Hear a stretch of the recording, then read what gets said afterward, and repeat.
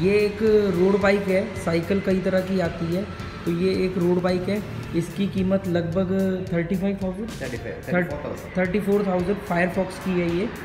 और road bike बोलते हैं, जिसके टायर पतले होते हैं थिन टायर। ये देख लो आप थिन टायर राउंड हैंडल और लाइट वेट ये रेसिंग पर्पस के लिए होती है, आप इसको ज़्यादा कंफर्टेबल लॉन्ग राइड के लिए नहीं होती है बट लोग यूज़ कर लेते जनरली ये how much two lakh thirty five thousand two lakhs thirty five thousand. ये दो लाख पैंतीस हज़ार रुपये की साइकिल है रोड बाइक है ये। स्पॉट कंपनी का है थिन टायर और वही round handle main fit is carbon fry not for alloy and steel carbon fry carbon frame carbon fry and carbon frame what is the main benefit Lightweight. Light weight ये carbon frame है it's not aluminium.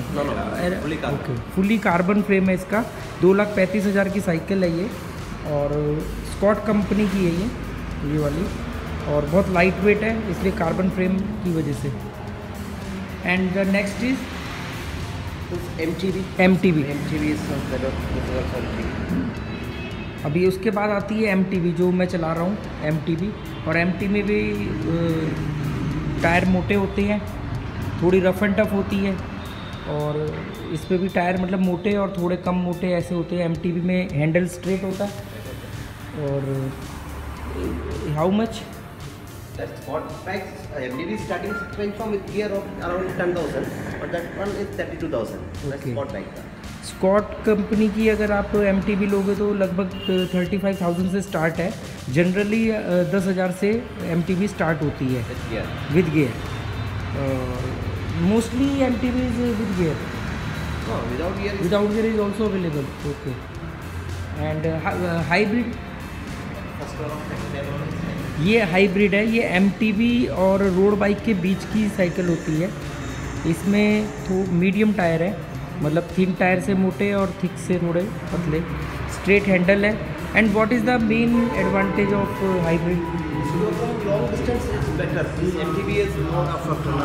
Riding में चला के चलते के लिए more effort ये भी uh, अच्छा है long ride में. इन्होंने बताया मुझे कि अ, इनका शुभ नाम रंजीत है और ये केरल में ही एल से है इन्होंने बताया कि जो हाइब्रिड है उसका एडवांटेज ये है कि ये एनर्जी कम लेगी एमटीबी के मुकाबले और and more other benefit Another benefit is the MTB is For- ज़्यादा weight है ना. weight कम दिए. ओके Weight कम दिए से जो थोड़ा it's a light weight and medium tyre yes.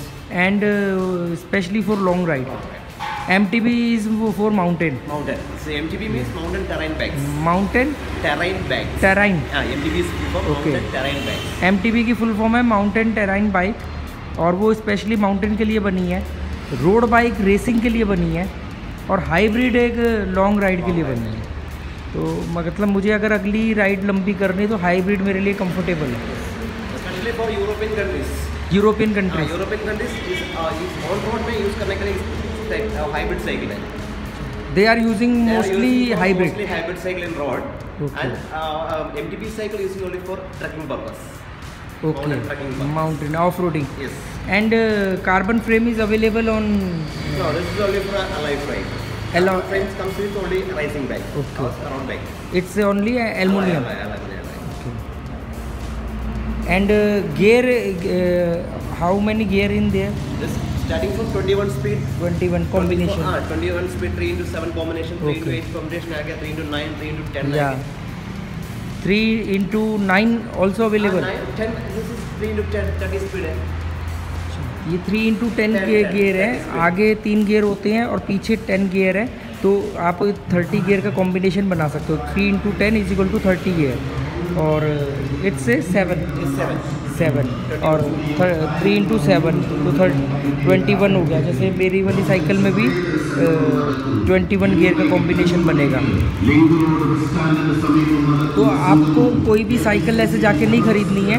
आपको अपना मोटिव क्लियर करना है कि आपको ऑफ़ रोडिंग करनी है तो आपको एम लेनी चाहिए, आपको रेस लगानी है, रेसिंग करनी है तो आपको रोड बाइक लेनी चाहिए और अगर आपको लॉन्ग जर्नी पे जाना है, लॉन्ग राइड पे जाना है तो आपको हाइब्रिड साइकिल लेनी चाहिए। हाइब्रिड ऑफ़ रो रेसिंग, रोड बाइक से थोड़ी सी मज़बूत होती है, थोड़ा सा उसके टायर मोटे होते हैं और अगर आप एम लोगे तो आपकी एनर्जी ज़्यादा खर्च होगी उसके ऊपर। तो ये एक अच्छी इन्फॉर्मेशन है तो आप अब इस हिसाब से अपनी साइकिल चूज़ करना। इसमें और भी एक दो कैटेगरी आती है पर मेन तीन कैटेगरी है रोड बाइक हाइब्रिड और एम और एक ये जो है जिसका पोस्टर है ये सबसे महँगी साइकिल है ये इंटरनेशनल रेसिंग वगैरह में यूज़ होती है। प्रोफेशनल्स यूज़ करते हैं। Which is the name of this cycle velodrome cycle velodrome cycle velodrome velodrome cycle velodrome cycle है। एंड हाउ मच इसको starting price from 3 lakh 4 lakh ये तीन से चार लाख से शुरू होती है और ये प्रोफेशनल्स के लिए हैं जो रेसिंग वगैरह में हिस्सा लेते हैं।